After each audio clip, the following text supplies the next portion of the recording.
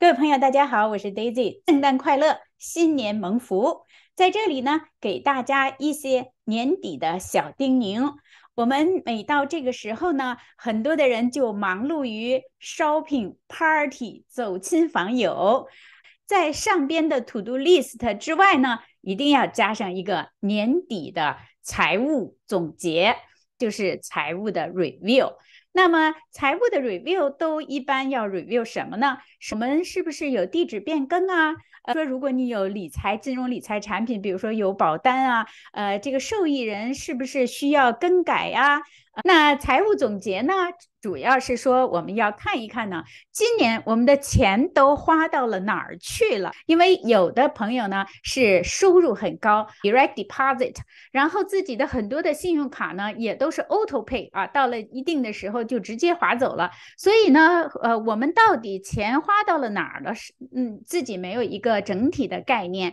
这个 review 呢，其实和一个很好的习惯有关系，就是要养成一个记账的习惯。如果你是单身呢，你自己就是这个家里面的 CFO。那如果是有家庭的呢，两个呃人呢要有一个分工，比如说有一个具体管 detail 的记账的，另外呢一个呢也不能不闻不问哈。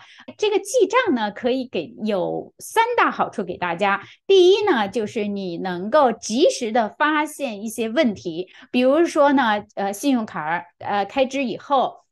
当你记账的时候呢，你就会发现是不是有些 transaction 呢，并不是自己开销的，还能让你在年底的时候能知道，比如说什么样大的开支占总体开支的比例有多少，那么这种消费呢，是不是健康，是不是要呃以后呢要要调整一下。第三呢，就是说我们在报税的时候呢，不管你是自己报税还是你请啊 CPA 替你报税，其实我们都是需要自己提供这个 financial record 的。如果我们平常养成一个记账的好习惯呢，在年底的时候呢。呃，或者到年初报税的时候呢，呃，就非常 easy 哈，数字就 ready 了。就说，呃，每个月记一次，呃，当然最好是每一个月了，因为这样的话可以及时的把这些信息 update。那如果你很忙碌的话呢，你也可以两个月记一次哈，那甚至你可以一个 quarter 记一次，但是呢。最好不要在年底一次哈，就非常的费时费力哈。别人都在出去玩呢，那你就要花上两天的时间，集中把所有的。呃，document 都聚齐。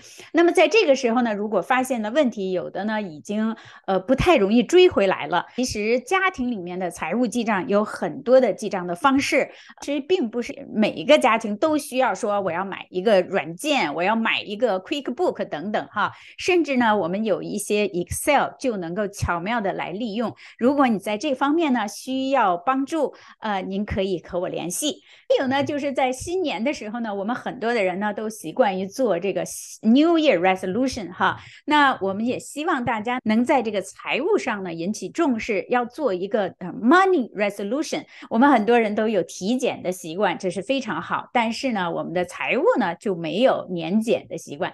其实我们的财务年检的时候也会 check 出来我们存在的潜在的问题哈，是不是有些什么呃漏掉了？呃，比如说呢？我们的呃风险转移、风险控制有没有做好？呃，我们的孩子的教育规划有没有做好？呃，我们的退休规划有没有做好？而且这些规划是不是在与时俱进？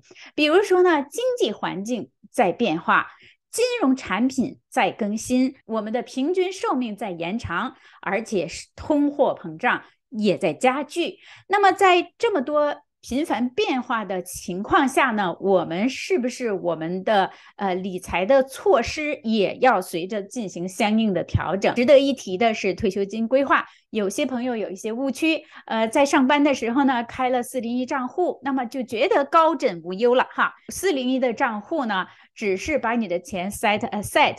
但是呢，并不保证你退休的时候真的就有足够的钱来供养你退休。所以呢，大家一定对自己的四零一 k 不能不闻不问哈。那么要定期到账户上去检查一下那个布局资金到底放在了哪里，布局合理不合理，是不是根据外界的形势和自己的想法的变化而做了相应的调整。在这节日期间呢，我们也特别推出呃赠书服务，呃，由前世界银行经济专家温英干博士牧师所著的《实现财务自由十二堂必修课》，前三位打电话打进来的朋友免费得到一本书。